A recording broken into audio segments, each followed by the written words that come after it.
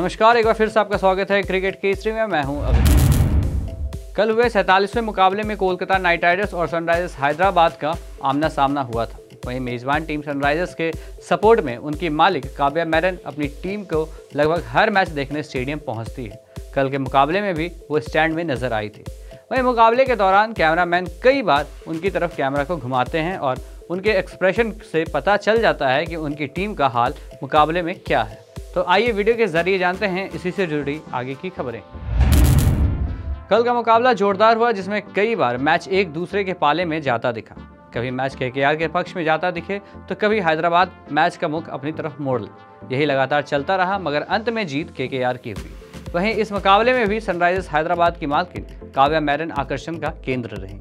हमने देखा कि कैसे जब मुकाबला हैदराबाद की तरफ़ झुक रहा था, तब वो खुश हो रही थी और कैसे जब हैदराबाद के हाथों से मुकाबला जाता दिख रहा था, तब उनका चेहरा मुरझा जा रहा था।